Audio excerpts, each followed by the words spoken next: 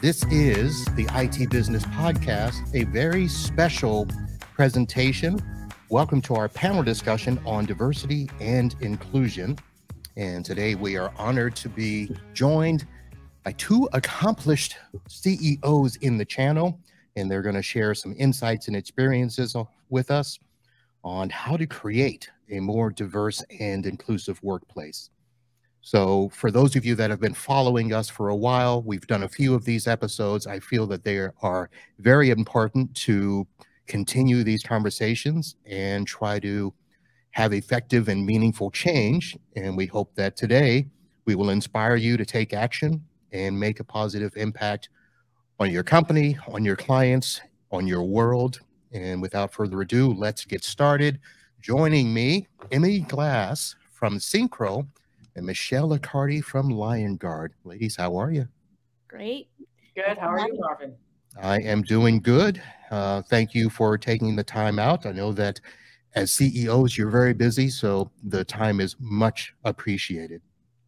So why don't we go ahead and start real quick with giving the viewers and listeners an idea of who you guys are. So Emily, with Syncro, please can you give us a little bit of your background and uh, what you're doing there at Syncro. Sounds good. I'll start with Syncro. So Syncro, um, for those of you who haven't heard, uh, is an all-in-one RMM and PSA platform with remote access as well. So we basically um, try to provide everything that a growing MSP needs to run their business. Uh, and you know, we really listen to our partners. So we're all about growing with our partners and really, um, you know, hearing what they need and making sure we're delivering on that and growing with them. So that's our our kind of core offering. And then um, just a little bit about myself. I joined Syncro almost two years ago, a little less than that, but almost two years ago, I've been CEO. And prior to that, I was at a company that some people might know called Datto uh, in the industry, and I uh, ran a lot of different departments there and had a wonderful learning opportunity. Um, what was really my introduction to the MSP space and to MSPs and their business challenges and needs. And I got to hear a lot about that when I um, when I worked with the tech support group many, many, many, all the issues, but also all the growth stories and all of the opportunities as well, which really made me sort of fall in love with the MSP space. And so I'm really happy to be back at Syncro. And prior to that, I have a um, degree in engineering, computer engineering. So I've been sort of in tech even before I started my career in the MSP space and been working at a, a variety of different tech companies during my time. So it's a little bit about my background. All right. Thank you. Michelle? Well, like Emily, uh, I absolutely love the MSP community, and um, my journey is a little different than Emily. So uh, I've only been at Liongard as CEO for the last two months. Uh, so she was two years, I'm two months, uh, but I have vast experience in the MSP space. So I was 17 years uh, at CA Technologies and different uh, parts of the partner ecosystem, uh, sales, marketing, and, and engineering. Went on to Star2Star Communications, which was a unified communications company that uh, sold through MSPs into the space, uh, and then uh, exited that business for about 500 million uh, to to in a two part exit to Sangoma and Comcast, uh, and then went on to become an MSP uh, and uh, was CEO of a, one of the largest MSPs, over a $100 million MSP, uh, Logically, where I got such an ed education, having been on the tech vendor side for nearly 25 years of my career to going to be an MSP and feel the real difference um, was so eye opening. And it also just put me in a place where I said, you know, my super my super talent is in driving growth and helping MSPs better their business and help with their profitability. And when I found the opportunity at Liongard, it just seemed like kismet, frankly. So, for those of you who don't know what Liongard is, uh, we are configuration change detection and response. So, you think about all the problems. Um, and challenges you have by this landscape of changes that happen in the cloud with users, assets, endpoints, uh, all the way through um, you know, as any operational changes happen in your business and being able to get visibility to what those changes are and the risks that, that might come of it um, is really, I think, mind blowing in terms of being able to have that kind of capability that help you get to help you get in front of challenges for IT governance and doing cybersecurity risk mitigation. All right. So uh, the format today will be the three of us just having a little chat, a little discussion. Uh, we've got some bullet points and some questions we may or may not get to depending on how the flow goes. But I do want to say to everyone that is watching live, there is a little chat on the side there. So if you have some comments, some questions, want to go ahead and say thank you for a couple of comments. Uh, Cass Cooper, very excited for this chat. Hi, Emily, Michelle, and Marvin. So uh, those can be thrown in there and we'll get to them as we go. So normally we would start with a little question about, you know, what do you think diversity is? Bob? I want to start with this, and I want to ask you guys a question. Uh, so just attended the Pax8 Beyond inaugural conference. And one of the best things that happens at conferences is all that time in the hallways, after hours that you get to sit and hang with other people. Usually it's to talk about your stack and what are you doing in your business and what do you think of this session well, one night I ended up having a discussion with three or four, four other uh, attendees, and we got to talking about diversity. We had just left the Nelly concert, and it was just funny to watch the observations. Me as a black guy sitting in an audience full of white people dancing to Nelly and all of that. And I don't know how we got onto it, but we got onto it. And I found it at times awkward because they were asking me to try to explain what I felt during that time as well as other times and trying to explain to them well when do you feel offended or when do you feel that diversity is not happening? And it was just a whole discussion. So i kind of wanted to ask you guys um, how do you guys deal with situations like that when people are trying to ask you explain what you mean when you're not feeling included or something like that do you do you have thoughts that you can help me with the next time I deal with that? Sure. Could you get me a cup of coffee, Marvin? Uh, uh, that would be, uh, you know, those are the kinds of, I, I think, you know, honestly, honestly, um, you know, I'm not offended by when people ask me about what my experience is as a woman in, as a CEO or growing up through the business. But I think they don't always understand the ex- the little experiences, right? Being the one that's asked to go get the coffee for the meeting, right? Or being the person who's assumed to be the administrative assistant versus the executive in the room. Um, those are the things, and, and and I think just calling that out, and you know, and when people make those kinds of mistakes, um, you know, giving them some, again, being humble enough as a leader to go, hey, they're human and uh, maybe they won't make that mistake the next time uh, if if we're human in how we interact with someone uh, from that's that's from my perspective. Yeah and i think um, you know i take every opportunity to talk about you know awkward awkward things. We do that at Syncro uh, in daily life. So yes it is awkward sometimes. You know maybe the intent is not that great depending or you don't know you can't trust the intent but I kind of view every oppor- every every exchange like an opportunity. Um, and I think change has to start with curiosity. So to me, I, I, try to interpret it as with good intent and with curiosity, and it's a learning moment potentially that can help um, these people, so, someone in the group, even myself, learn about what different experiences are. And these conversations are going to be awkward. Like I'm not sure how you have some of these conversations without it being awkward or people making mistakes in how they're expressing themselves. I think that's part of the process to have change happen. So I think being a bit forgiving, but also holding people accountable in those conversations, like Michelle said, saying when it makes you feel uncomfortable or people cross a line or you have to correct, like, well, actually, you know, that's not how I would say that, or I, I am taking that in a way maybe you're not intending I think that dialogue is part of the the transformation we're we're going through because you know we're not perfect yet. All right, so I'll have some thoughts on that. We'll come back to it maybe at the end, and I'll tell you how I ended. Thanks that. for starting with a softball, Marvin. Yeah. you know, Michelle put a post in there saying Marvin likes to ask the hard questions. So diving right in. The opportunity. Um, but let me ask, how about this as a softball question? Uh, I know that Michelle, that you've you've been in the CEO just for a few months, but you've been in the industry for a while. Emily, we know your history. What types of changes, and let's start with the positive that you have seen in the industry for women and in particular women CEOs? Yeah, I mean, you know, when I started, so I was thinking back. I, I had to do math this morning. I was like, so when did I enter the tech industry again? oh no, the number's bigger than I wanted. Um, but you know, I entered and I, I, did computer engineering. So this was 1996 when I started university. Just to put a just to put a date on it, because Marvin, you were you were you were teasing us about how old we are earlier. Um, so I started university in 1996. I you mean how one... you mean how young you are? yeah, whatever our age.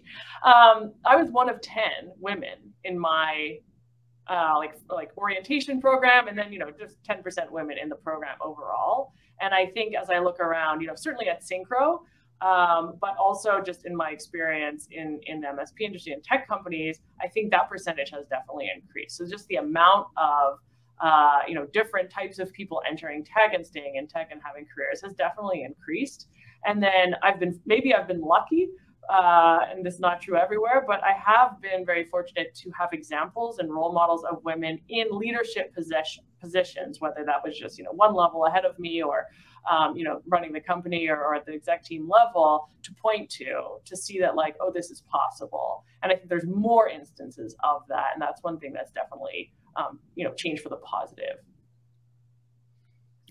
I see it. I see it very much the same way Emily does. The fact that we're on this podcast today together, two women CEOs in the same industry uh, that are able to have these kinds of discussions itself is a is a proof point that things are are getting better. And and I was also lucky. I had role models growing up uh, within CA Technologies that were uh, female leaders in IT in in sales, uh, in in marketing, in all these different areas. So that was very helpful for me to continue those. I'll call it coaching relationships along the way.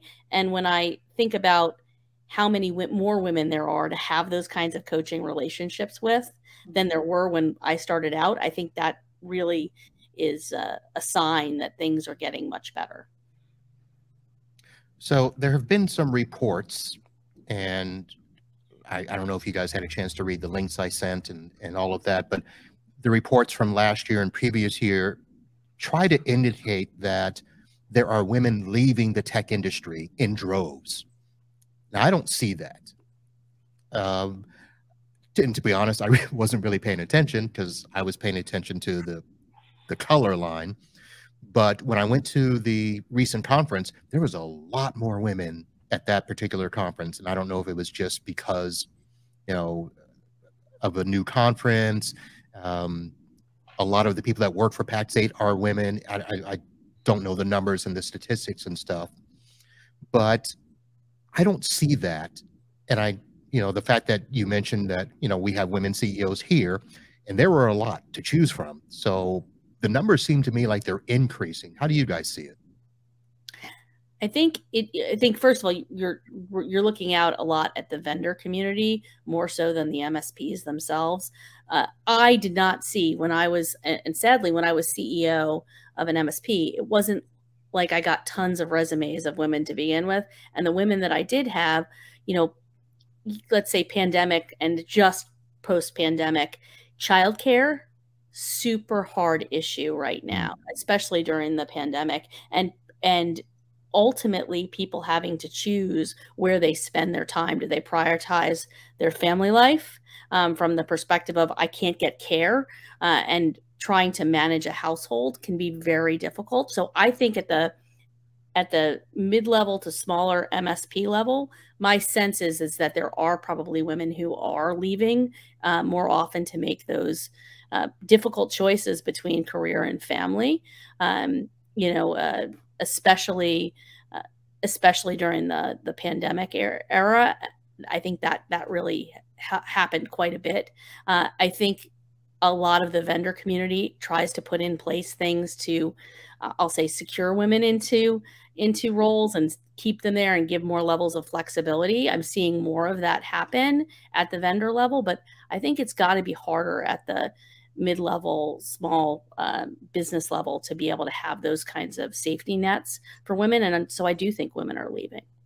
Yeah and and um, i agree i you know the data the data talks i believe the data right? I, I don't think you know you asked us for the positives that have changed in the industry but i don't think either of us would say we're there we're there yet or problem solved. And i do think i agree with michelle there's been a lot of pressures throughout the pandemic the last few years and people sort of making life decisions and balancing stressors and, and factors in their lives and trying to, to cope with all those things. And I think, you know, you, you point to like, well, the conference had more women, or maybe this vendor has more women. I think there's pockets where um, there's flexibility and there are environments that might be different than the norm or different than the standard. I think the standard environment is still really, really difficult um, to, I don't know, I don't want to say survive, maybe excel in um, or maybe survive depending on your life situation. And then you have pockets where, yeah, I agree, Michelle, a, a micro MSP, you know, one, two person shop is doesn't have, can't afford the flexibility or to create that flexibility, um, just can't afford to do it where maybe there's pockets of companies that, that can afford to create that environment, can, can afford to challenge the norms um, and do things differently.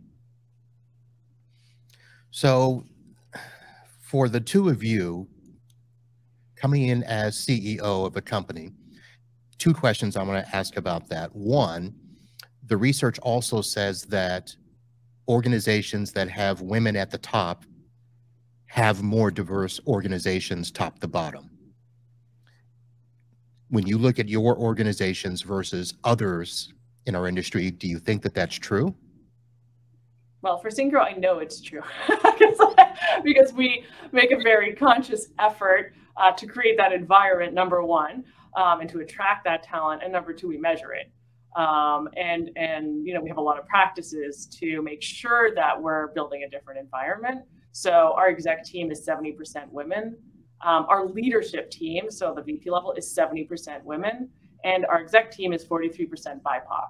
So that, but that didn't like magically happen just because I'm a woman. I put emphasis in creating that team and I put and my leadership team puts emphasis on on expanding that to the entire employee base every day in like the practices and what we emphasize as important to get done every day. So it's it's a very conscious effort. And I think kudos to you, Emily, for for. But I I I think that women led organizations are more diverse, uh, and it's not just about having more women; it's about more diversity in general. Um, and for us, I look across the population of Liongard, and it's extremely diverse. Um, you know, we have uh, we have a a female CFO. We have myself. Uh, you know, um, we look at the diversity of our of our team uh, from uh, again a nationalities perspective. You know, uh, Joe Alapat, our founder, uh, is Indian, and Vin, our head of marketing, is Asian. I mean, we we have a very diverse executive team as well, and I'm really proud of that. And I think if you look through our organization, you see that as well. Do you think that that's something that happens because of the way that you saw the industry or you saw the positions as you were rising, you know, when you guys started off in positions and as you moved up, you made a conscious effort to say, I'm going to make sure it's different for those coming behind me? Well, I think I made the conscious effort to go to Liongard because I saw that kind of environment already. Yeah. Uh, so I can't say that I've created that environment there, but I was conscious in choosing my next role to be at a company that aligned with my vision around uh, DEI. Okay. Yeah, I think that's very important too, for whatever level you're at. I mean, you have the choice of company you're going to and choosing one that is welcoming, that encourages belonging, that spends time, that has sends signals, right, that they're focused on uh, making everyone feel like they belong and uh, spending energy on that And so it's a little bit chicken and egg, right, Michelle? It's like, you know, do you choose if you choose the, the spot that cares, then you'll have more influence too. So then it kind of builds on each on, on itself. So you know, Syncro was already a very welcoming environment before I got there. Um, I've I hope I, the actions I've taken have enhanced that, um, and it kind of cascades down, right? You want, I've always wanted to create um, and use my influence to create an environment that's different and that kind of engenders others that want that same flexibility or that same freedom to create something different. It attracts them uh, to come work. So it, it kind of is this like reinforcing cycle. All right. I just want to acknowledge the people in the chat. Thank you for asking questions and comments. We'll try to come back and get to some of those. Uh, but i want to ask you guys I, I hope this is a softball question. Um, you can ask us hard questions too. I, I know, I, but I like to sprinkle, you know were there any role models that you guys had before you became CEO that kind of, you know, helped you, guided you along the way? And then after you became CEO, did you find more peers that were willing to to help you? Yeah. Well, go. You go, Michelle. Yeah. Uh, so I have one. Uh, I have a group of of women who have been uh, very helpful to me as I I grew up. One per particular, her name is Joanne Moretti. Uh, she is um, she's currently CRO at a company called Fictiv, but but she was a general manager at CA when I was a young executive growing up, and she really poured herself into me. And as I grew in roles, you know, I watched her uh, go toe to toe with men who uh, underestimated her or uh, didn't take her seriously and i saw her succeed over and over again and so that gave me confidence as uh, as i sort of grew into my new roles and i would use her as a confidant. I continue to use her as a confidant today um, but i've created this additional circle of women leaders, um, CEOs like Catherine Rose, who's in the uh, the chat uh, with us right mm-hmm. now uh, with ChannelWise, um, you know, had had been a, a, real inspiration to me in terms of being a founder woman and the mentality you need to have when you're going into a startup. Um, so I, it has grown as I've got, and I'm I now look to Emily and say, look, I hope I I can now leverage Emily's great uh, knowledge uh, from her experience at Syncro and, and previously as well. So I, I, think it does grow as, as you get more influence and you gather more spheres of influence as you grow into a larger and larger roles.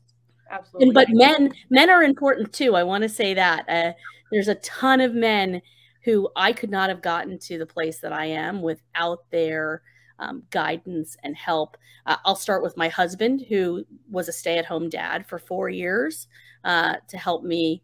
Uh, so I didn't have to worry about those things. So, uh, and I saw a lot of um, bias that he experienced taking that decision to be a stay at home dad. Um, uh, so I'll start with him, but other executives, Norm Worthington, who was the CEO and founder of Star2Star, believed believed in me and pushed me into my first uh, CRO role. Um, so folks like that who who really poured into me over the years. Yeah, very well said, Michelle. And I think um, for me, the role model question is always difficult because um, I think you know we talked before about it, it's it's kind of important to see yourself uh, or someone who looks like you or that you can identify with, whatever that you know flavor that looks like, uh, in a role that you might aspire to. I think that's important, and that's maybe where the role model piece comes in. But for me, the more important part, at least in my career, has been um, twofold. One has been exec coaches or any kind of coach, whatever whatever level you're at. I have been very, very fortunate. I had a, a, very early boss who believed that everybody should just have a coach. It's like playing basketball or a sport. Like everybody's got a coach so you can get better. It's not a it's not a bad thing, right? You're not doing bad just because you have you need a coach. So um, I I've you know had that philosophy ingrained in me. So I've been fortunate to um, have early sort of exposure to having a coach, and that's just been become sort of the norm really influential in helping me reflect on you know, how am I being perceived, what's my style, how can I improve, and getting that feedback. Um, and then the second thing has been, like Michelle said, having having a mentor or someone who uh, sponsors you in the organization. And so I was really, really fortunate at Datto. Austin McChord was that like gave me a ton of opportunities. These are the people who like see your potential and also have the ability to give you an opportunity. And Michelle, yes, you have to say you have to say yes to it and you have to like accept it um, and be willing to, to tackle it. But um, it's really like access to opportunities, I think, across the board for not just women, but all kind of marginalized groups is really one of the core problems. So if you have someone, man, woman, whatever position they're in, that can give you an access to an opportunity, that's really, you know, what, how, like what's going to, you know, um, help you grow and uh, move you forward. All right. So let's take a little bit of a break here from me asking you guys questions. I didn't prepare prepare you for this. So I'm going to turn the tables and ask you guys, do you have any questions for me? Ooh. Um, I have a question for you. I don't know if it's a softball though. I, I meant my medium, medium sized Last pitch. Mid. Um, I'm curious in you know because you run an MSP, and you also go to a lot of conferences. You were talking about being exposed to different groups. Um, when you when have have you been, you know have you worked directly with um, with women in the past, and what's kind of been uh, what's been some of the challenges around that, or or or not? Have you felt like it just flowed naturally and like there, there's no issues? Well, well, I can say that I have hired women as techs for my business and I have worked with women CEOs of other MSPs and vendors. So one of my favorite cable vendors was, you know, two two gals that ran a cable company. And they were fantastic. Unfortunately, they moved out of the area, but they they were my vendor of choice. And it wasn't specifically because they were women, it's because they were they were good. They did quality work. Um, in terms of how I've viewed it, it's listen, I've had to deal with diversity my entire life, and I never really see it as diversity. I just gravitate to who's doing the better job, who makes me feel the most comfortable. And that's what I gravitate to. So I don't know if I have a great answer for you, but that's that's my experience. I think my question sort of piggybacks on that. How you know, I I oftentimes feel like there's still a a challenge for women in the networking part of the business with MSPs because uh, there is still so much that's based around let me take you out for a round of golf or drinks or and does it is there any awkwardness from your perspective um, on the male to female networking aspects of uh, you know interacting uh, and how do you, how have you managed uh, through that, or how have you seen your peers manage through that? Oh, that's that's not a softball. that becomes the balance of the time. because th- so you're right. There are those those peer group mentalities, those cliquish things that happen, and I'll speak from the experience of so first of all being a black man i think that there there are things that I know that people will do, and they assume that because I'm black, I'm not interested. When I do things like I golf, and people, oh, and they're shocked to hear that I golf. Uh, I purposely listen to different types of music so that when we're out and about and doing things that you know, people just just assume that okay, well, we can do any type of musical event with Marvin or invite to concerts or whatever. Um, it is probably the hardest thing is probably dealing with the female side of it because I see multiple sides because I see women who really will overcompensate to be like the men. And they'll be at the bars and they'll drink and they'll curse and you know say the, the saucy jokes and comments to feel like a part of the group there um and that's a that's just seems awkward and pushed and forced. And i'm not going to say i don't like it because some of them are probably watching that. Um, but you see that you see where there's that overcompensation. And then you see the other side of it as well where they're afraid to speak up and you know oh well the guys won't like it so i'm not going to bring it up. Uh, it's it is interesting to watch and it's it's harder to talk about um, well i think it's it gets to the heart of things. Ultimately you know authenticity in my mind matters and being who you are and if you drink then you drink with everyone. If you if you golf which uh, I, I don't frankly uh, but i love to go fishing anybody want to go on a fishing trip i'm in. Uh, i don't i don't necessarily need to be sent to the spa for every women's uh, uh although again a, a, trip to the spa is not necessarily a bad thing either. Um, but i think having authentic conversations about what we like who we are uh, being being real as executives as people um, and being able to have awkward conversations um, you know i think is important. I just think that just being able to show up and and be have someone say come along with me to whatever um, whatever they may be doing whether you if, if again I, will sit at the bar and drink a club soda uh, to be in the interactions but i don't drink really. Um, and having friends who are like comfortable with that and bring me in that makes me feel good and makes me feel included.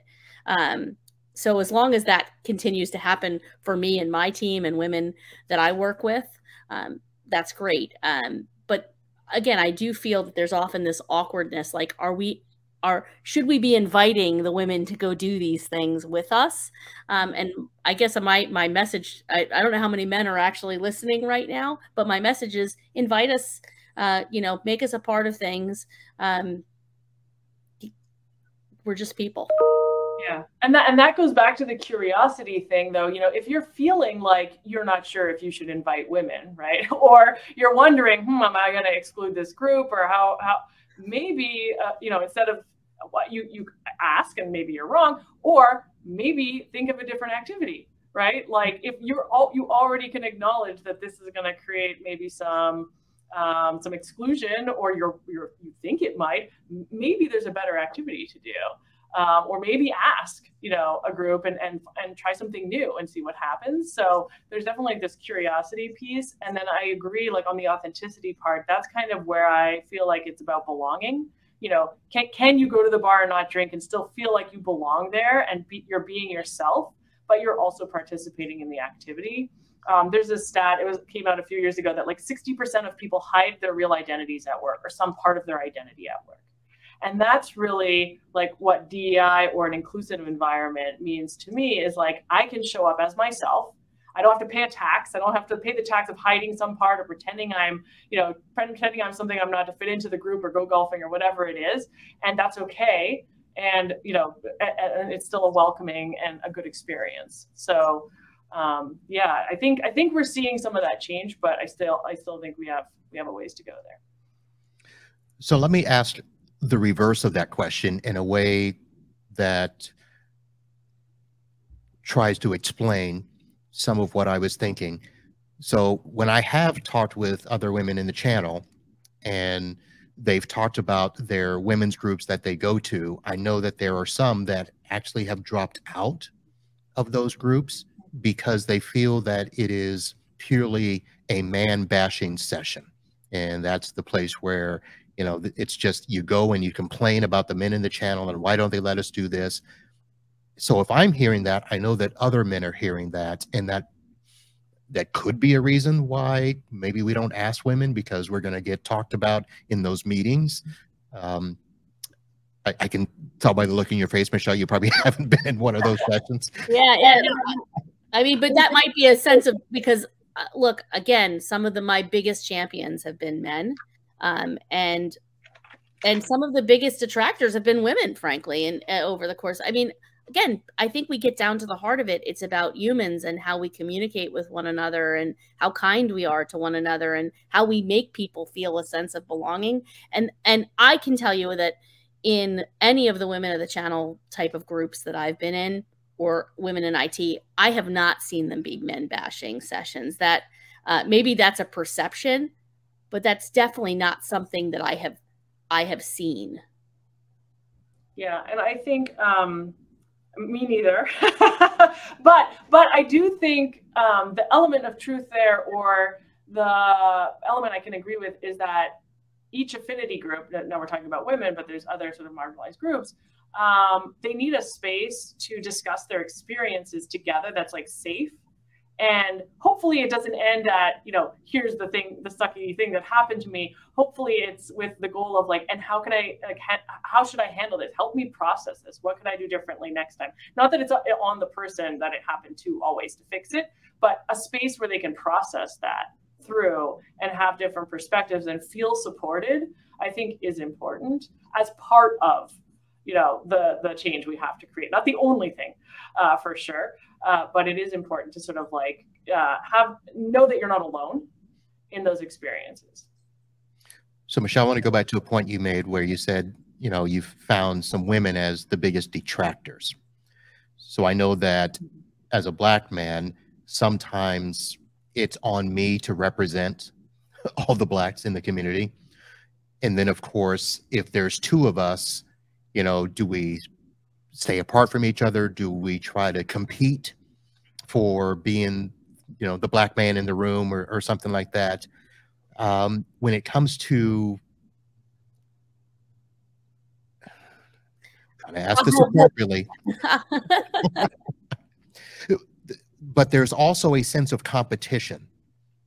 So I think there was. Industry. There was for me when I was young. Okay, good. As a as as a young woman in my in my 20s i if there was another woman that we were maybe perceived as having similar skill skill set uh, it could be uh, I, I, like to say like a fight to the death mm-hmm. uh, um, as i matured i started to see these women as oh my gosh that person has a power that maybe i could leverage or she could leverage my and now some of the people whom i would say were my rivals in my 20s became my best friends in my 30s and now are like lifelong friends in my 40s um, in terms of people who again become my board of directors i think that comes with a level of maturity frankly and and maybe i maybe i just didn't have that maturity in my 20s um, uh, that that cattiness could have been there um, but as i've certainly grown as a person and as a leader um, i don't feel that sense of i don't even feel that sense of competition um, I need to compete with myself. I don't compete with anyone externally anymore. And maybe that comes from having had great coaches and great peer groups that have helped me see that, again, I can only, the only real measure is how much better a person you are tomorrow than you were today not not against other people and i think the more we can get people into that mentality and i know i have three uh, I have six children, but I have three young women. I have an 18 year old, a 24 year old, and a 26 year old. And I try to impart that knowledge on them now that you don't have to compete with anyone. You're you're you're smart enough, you're beautiful enough. You you, you just have to be a a better, kinder, uh, more uh, thoughtful human every day. That that's what you should. Th- those are the things, and to be happy. Uh, those are the things that I try to import impart on my kids.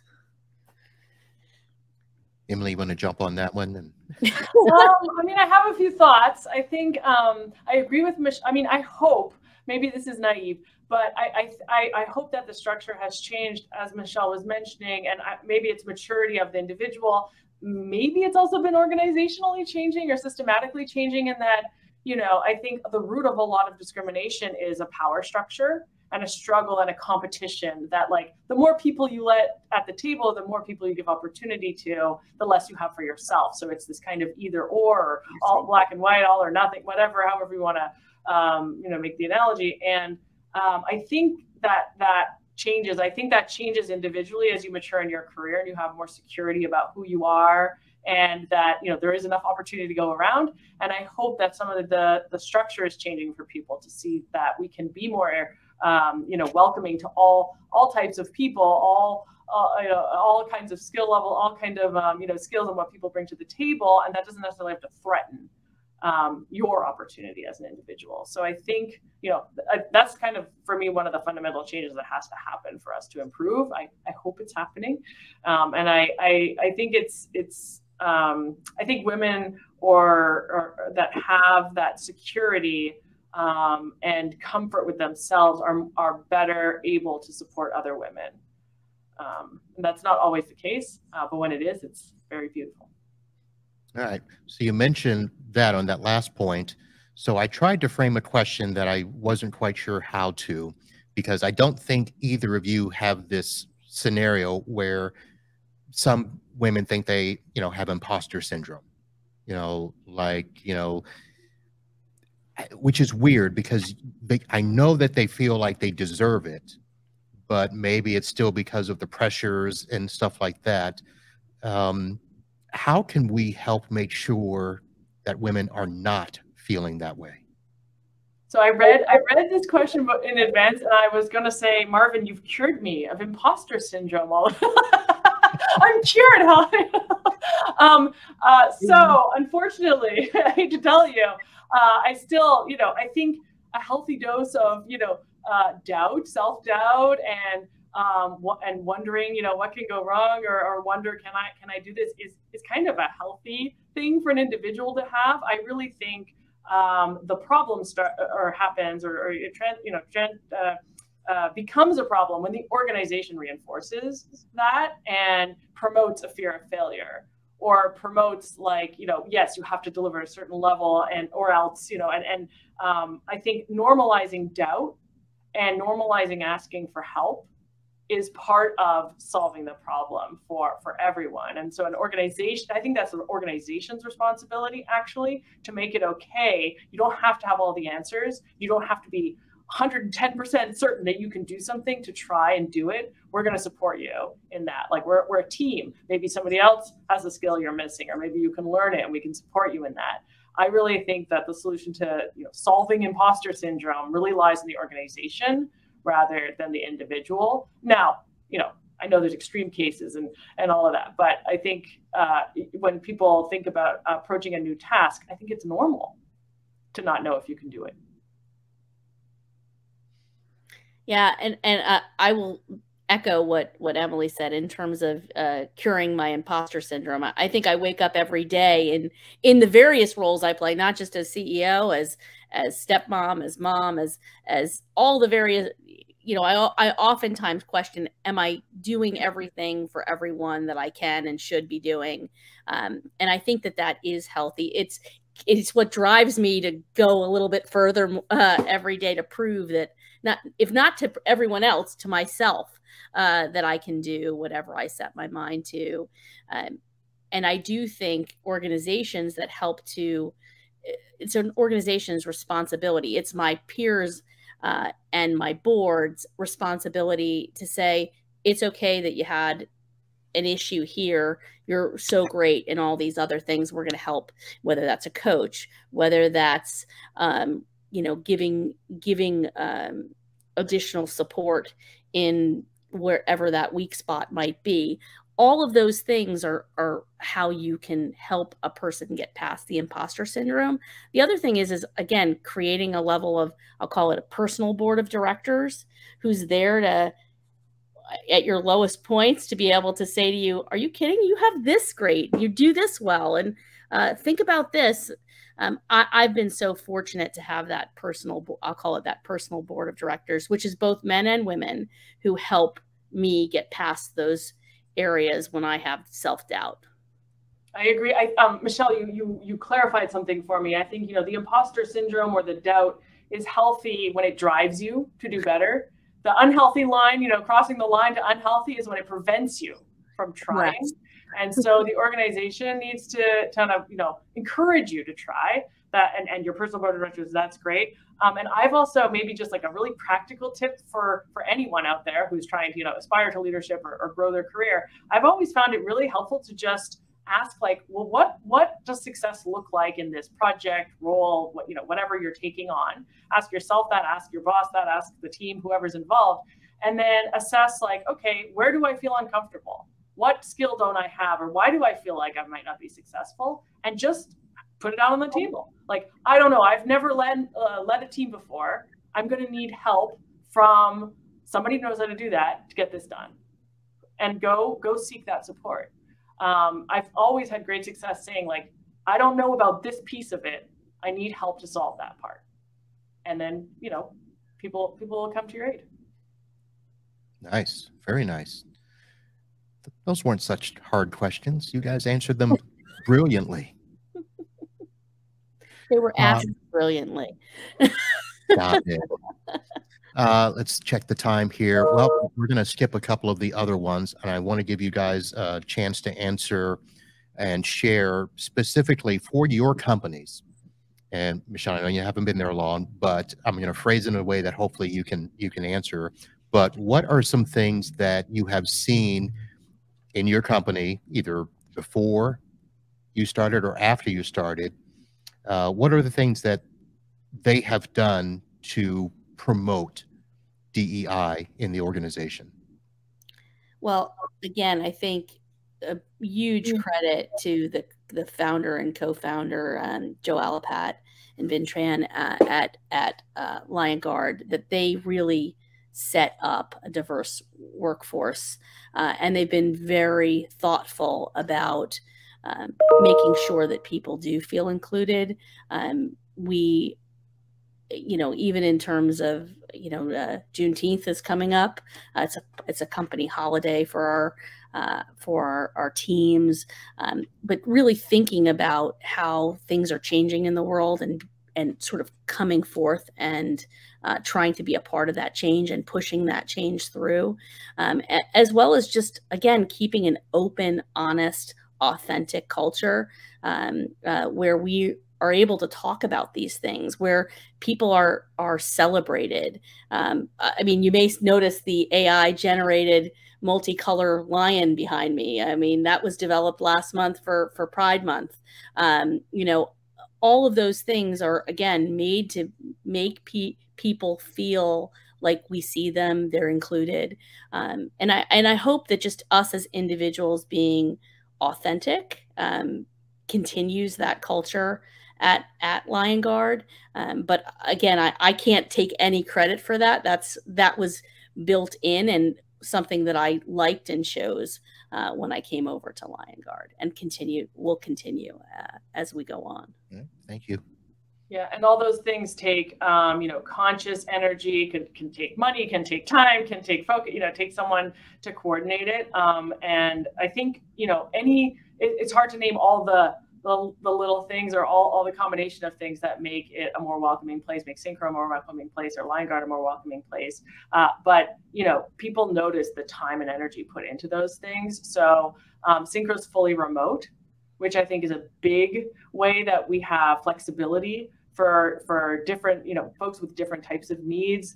It allows a lot, a lot of flexibility um, in, in, terms of how they work, where they work, um, that kind of thing. I think it really helps us attract uh, a diverse sort of uh, set of folks. Um, we have wellness days, which I think are really important. Um, I try, I know some some of the, some things you might look at like uh, you know you might think they're artificial or superficial or uh, you know just um, throwaways, but like they really show where the organization is putting their attention and time. So wellness days is a day we take off as a company every month.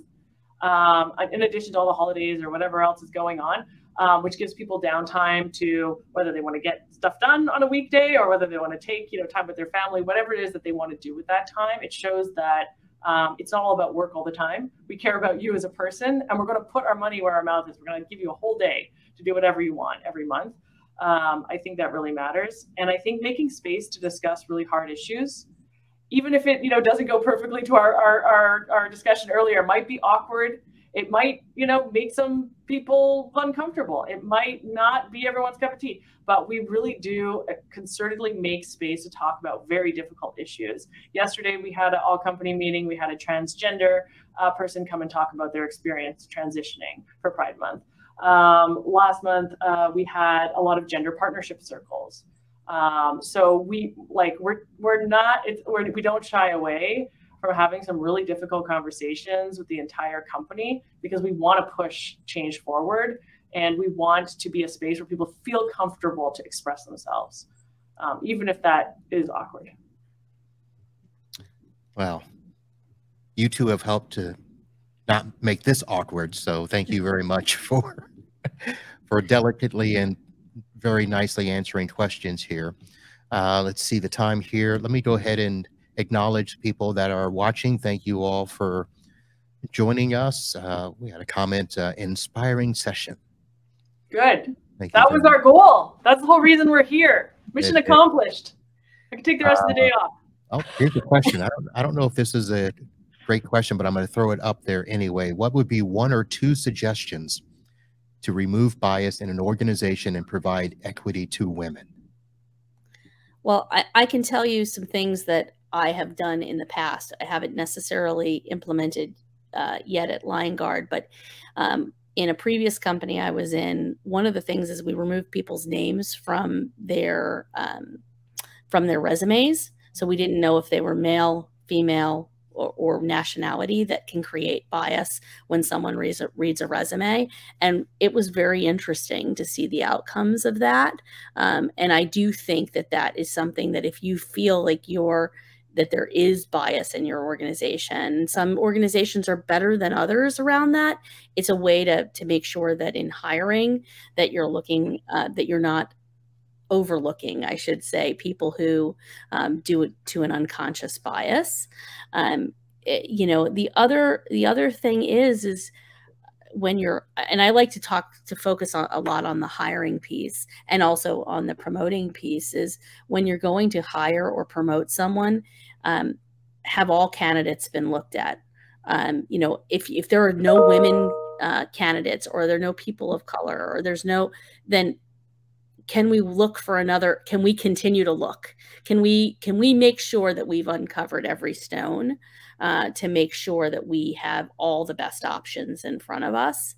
Um, because oftentimes i think there's just a rush to get someone in a seat or to uh, and if the rush delivers only you know white men as the options then you're you're you know you might be missing out on some great opportunity. You may still wind up going with the person who, but let's make sure that we have a pool of people to choose from. Yeah, and I think um, it's really hard to pick one or two.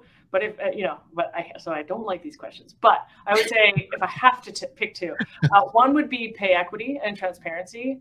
So at Syncro, we also rolled out pay transparency this year, which was really scary. Like I said, we don't shy away from scary stuff. So everybody knows what their pay scale is, where they fall on that scale, what um, you know, how it compares to the average for that role, what they have to do to get it to be higher. We look at pay equity across, you know, gender, race, everything, everyone in that role at the company, and, and ensure it's fair. So that was really was you know that I think a lot of companies have not tackled that because they're scared of it um, but it has gone very well. And I think it really helps uh, ensure equity to women and other groups. So that's one thing. And then the second thing I would say is ask, ask the women what their experience is like. Um, take the time, like show the time, take the time and energy and show the interest. Showing the interest and starting that conversation will be a way that you can show that you're interested in it and you'll get whatever the outcome is from that conversation. If you do it, you know, will provide more equity, guaranteed. All right. Well, thank you for answering that. That was not a scripted question. That came from the chat. So good job. Uh, I want to make sure that I honor your time and make sure that we don't keep you too long. So I'd like to go ahead and start wrapping up. And I know that I had told you guys I would give you the opportunity to, you know, have any last words or thoughts or give an impact statement or things of that nature. Um, start with Michelle. Do you have uh, anything you'd like to leave with us? Well, just like to say that as much as building my own personal board of directors was important to me, I want to just extend myself as a resource to anyone listening um, that is looking to have someone to to just be an, an ear and to provide advice. Um, I think it's so important that we do that for our community. Uh, so anyone who needs uh, that level of support, please feel free to reach out. Uh, Michelle.accardi at liongard.com. Nice. And um, Michelle, you've been, um, you know, before we end, Michelle and, and Marvin, but Michelle, just recently, since we've just met, you've been so kind and so um, generous with your comments uh, here and in the prep and on LinkedIn and everything. It's been really, really wonderful. I hope we can continue that relationship that we've just you know started to build. And uh, I agree. If if there's anyone here who could use some advice or has a question, um, I'm CEO at syncromsp.com. Uh, I, I, respond to all emails. I have no admin, so myself. Guaranteed response from me, whether you like it or not. Um, and, and happy to help um, anyone anyone looking for sort of career advice or, or leadership growth. And um, yeah, please reach out. And thank you, Marvin, for hosting this session. Yes, really thank you, and thank you, Emily. Well, first of all, I'm going to say uh, very bold to uh, just throw that information out there for anybody to contact you. Uh, I commend you for that. Um, being accessible and available is is awesome, uh, especially since I've met you guys. Uh, it's been pretty amazing the the time that you've availed to me. Uh, you know, tiny little IT business owner and podcaster in Fort Lauderdale, Florida. Thank you very much for your time. Thank you, Marvin. And we're going to get you that demo of Liongard soon. you had to put that out in the public, didn't you? All right. Well, I think that's going to do it uh, for this uh, panel discussion. Again, thank you very much. Uh, this has been the women CEOs of the channel on diversity inclusion, uh, an important topic that we hope to continue to champion. Uh, hopefully, will help inspire people to uh, look at some initiatives more effectively and inspire other women to pursue leadership roles, demonstrate diversity, empathy, and adaptability. Hope I said that right and a good word here. Uh, again, uh, they've actually given out their contact information. Uh, you can also contact me uh, here at the podcast, Marvin at itbusinesspodcast.com. We will continue these discussions. Always go to the website to find previous discussions, and that's going to do it. So we'll let everybody get back to work and uh, hope you enjoyed this as I find my intro, outro music. we'll say goodbye. And uh, it's coming up on lunchtime, so hope everybody has a good lunch. See you later.